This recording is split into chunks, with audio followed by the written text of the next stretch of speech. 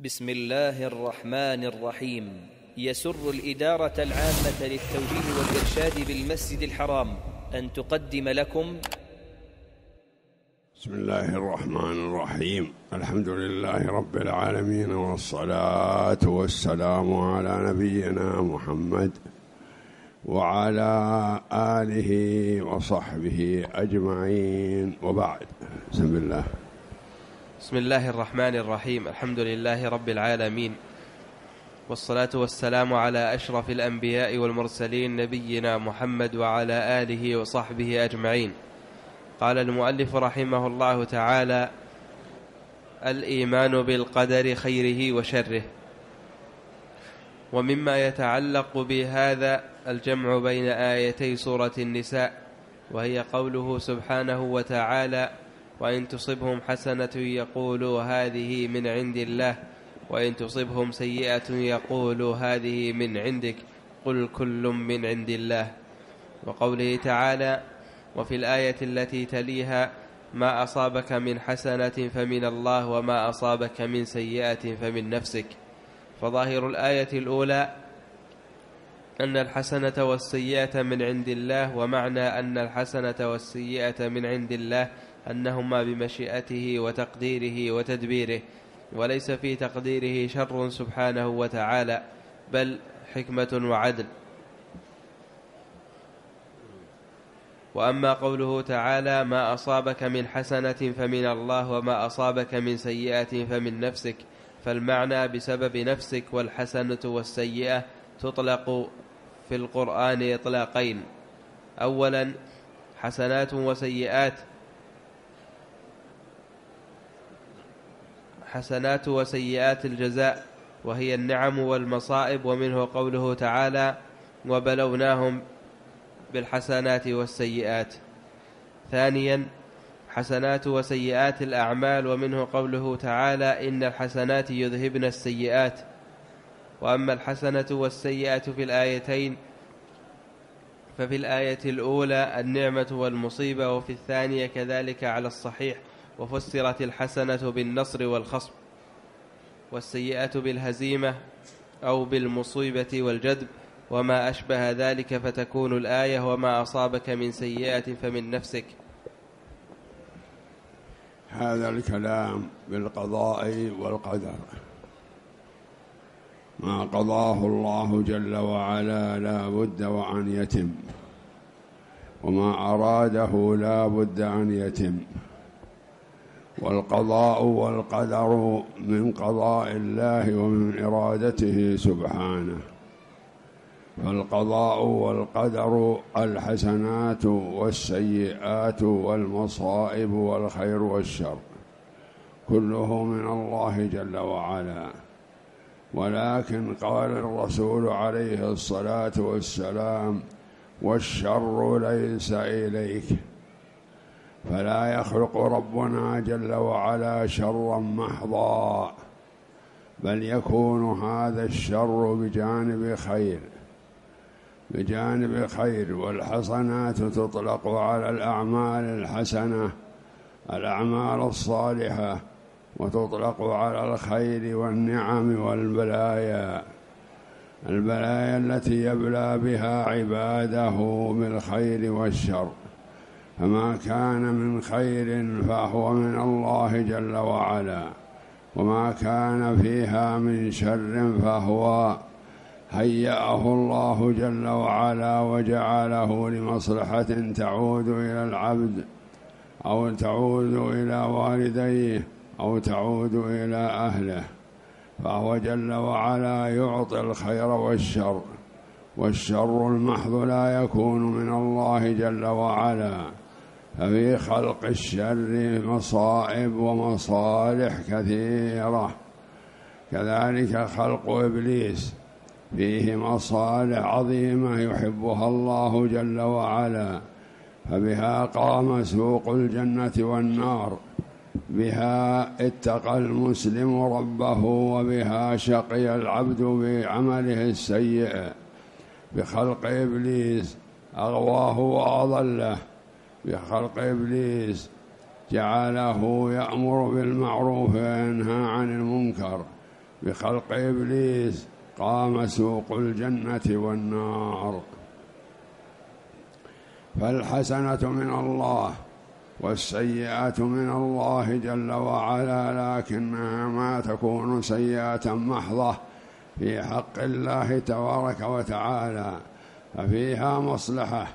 كما تقدم لنا في خلق إبليس فخلق إبليس شر. لكنه في حق الله تعالى خلقه لمصلحة. به قام سوق الجنة والنار. به قام الأمر بالمعروف والنهي عن المنكر. به قام الولاء والبراء. به قامت أمور كثيرة بخلق إبليس. فهي مصالح عظيمة خلقها الله جل وعلا. فعلينا أن نعرف معنى قول المؤلف عن النبي صلى الله عليه وسلم والشر ليس إليك. الشر ليس إلى الله جل وعلا. فهو يخلق الخلق وهو الخالق لكل شيء.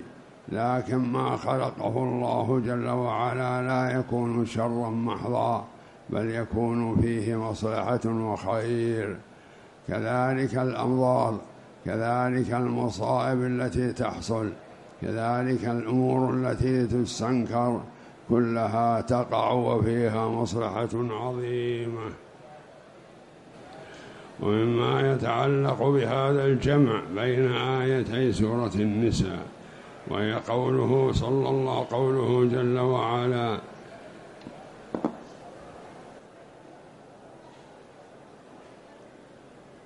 وإن تصبهم سيئة يقولوا هذه من عندك.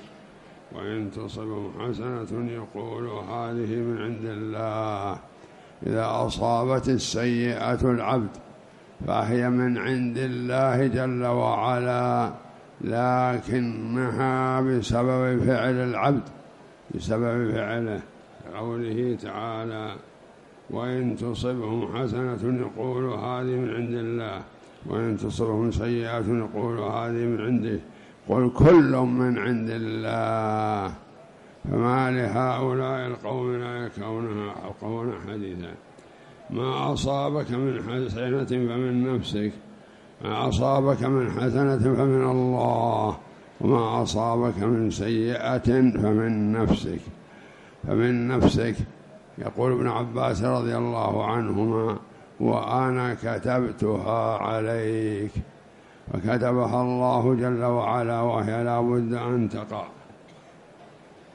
قل كل من عند الله أي الحسنات من الله جل وعلا تفضلا وكرما.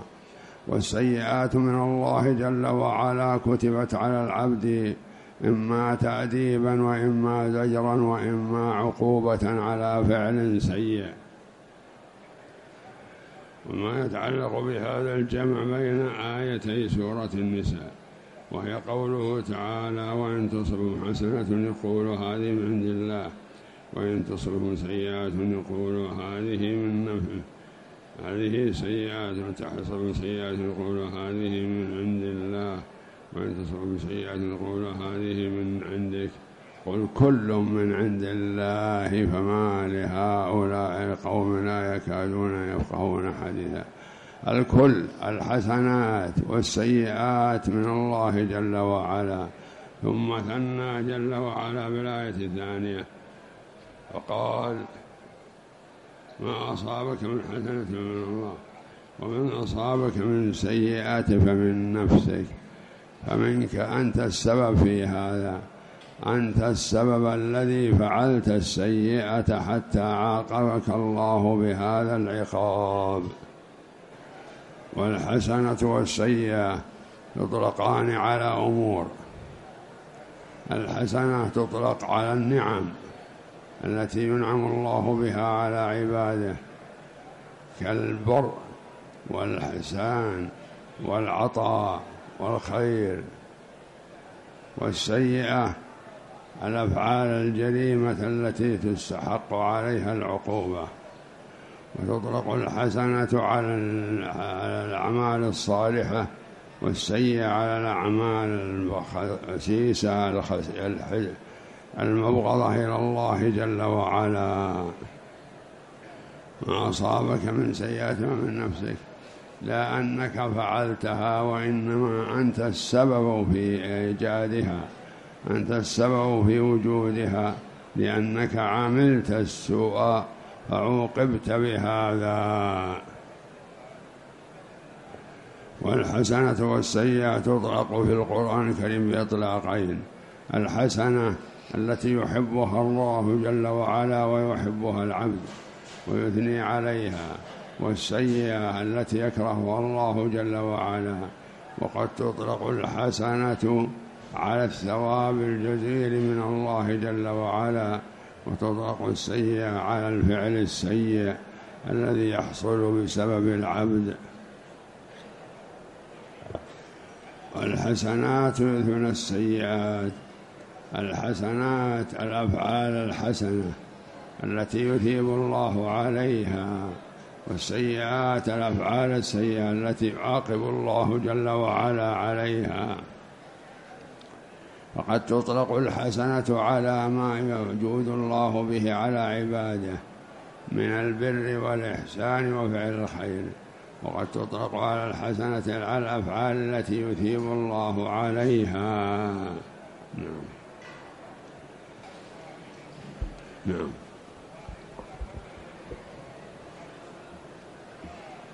والحسنات والسيئات تطلق على في القرآن الكريم بإطلاقين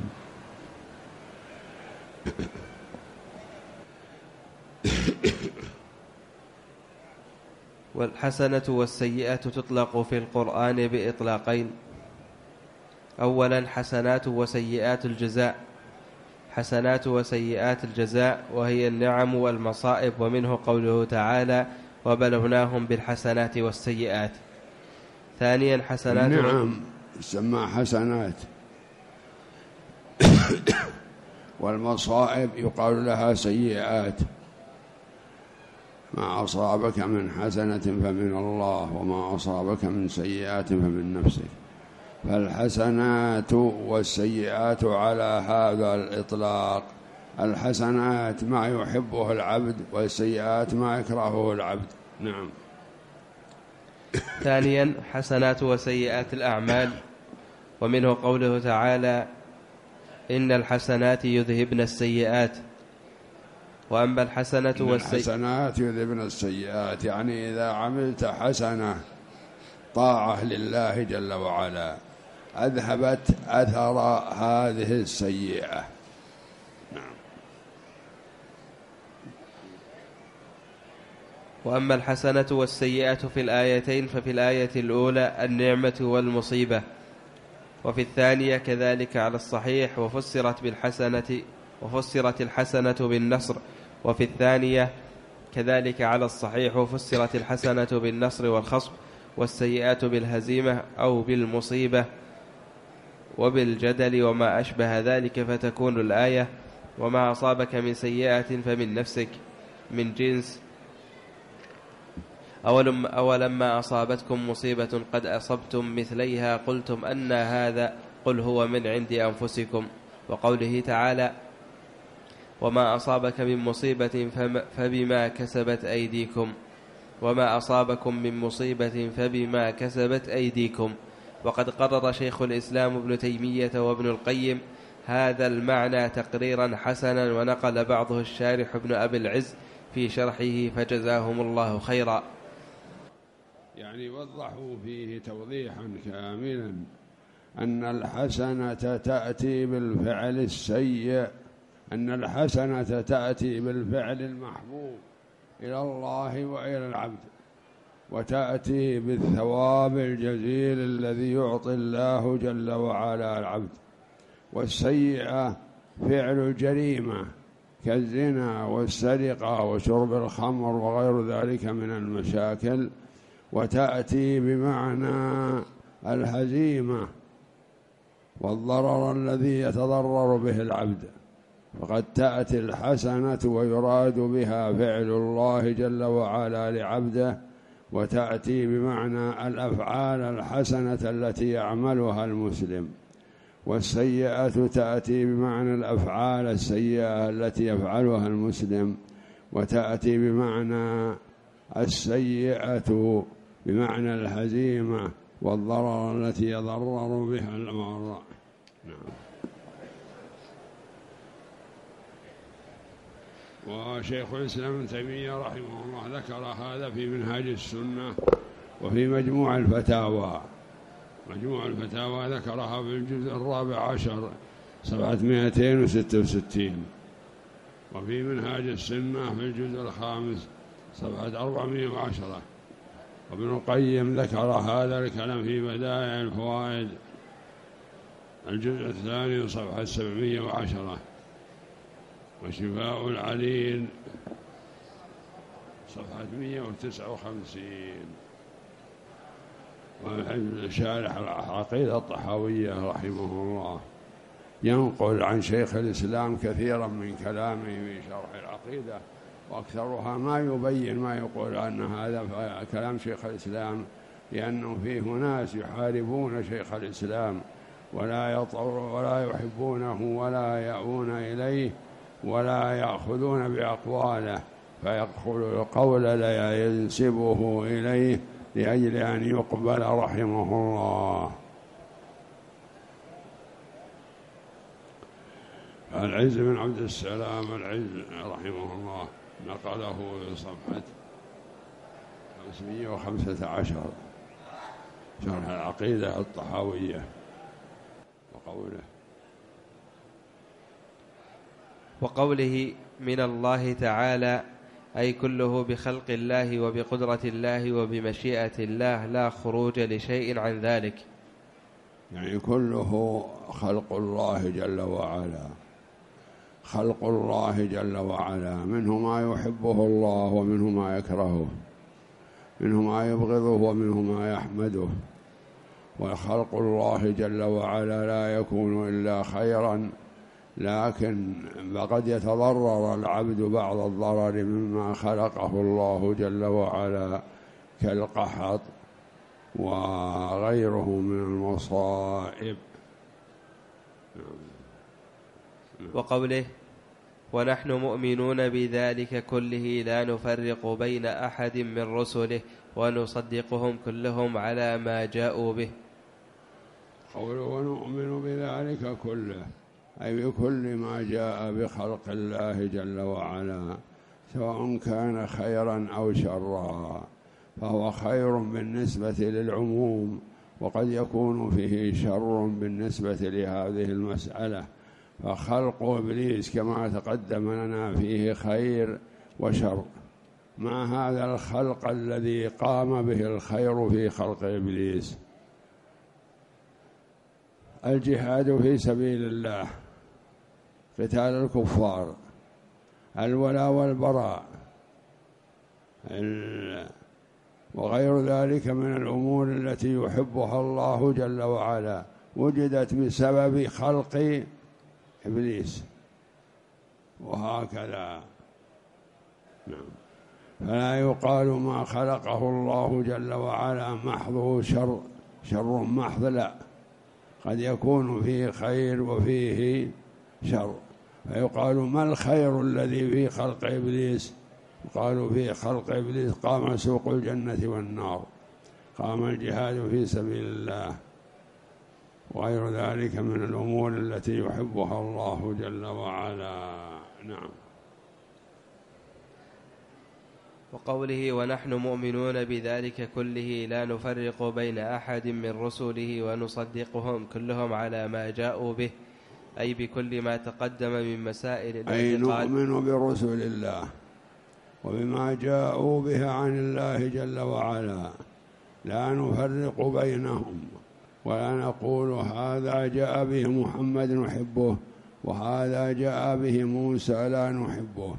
فنحب كل ما جاء عن الله جل وعلا بواسطة رسله. فالرسل عليهم الصلاة والسلام كلهم يأتون بما يحب الله جل وعلا ولا يكرهه. نعم. ونحن نؤمن.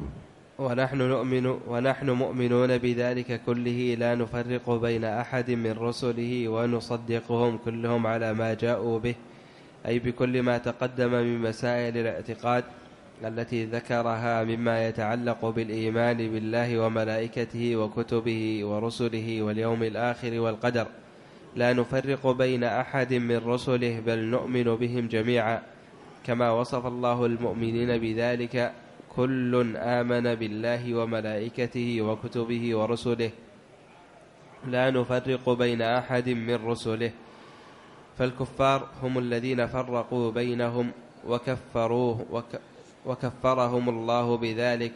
إن الذين يكفرون بالله ورسله ويريدون أن يفرقوا بين الله ورسله ويقولون نؤمن ببعض ونكفر ببعض ويريدون أن يتخذوا بين ذلك سبيلا أولئك هم الكافرون حقا وأعتدنا للكافرين عذابا مهينا.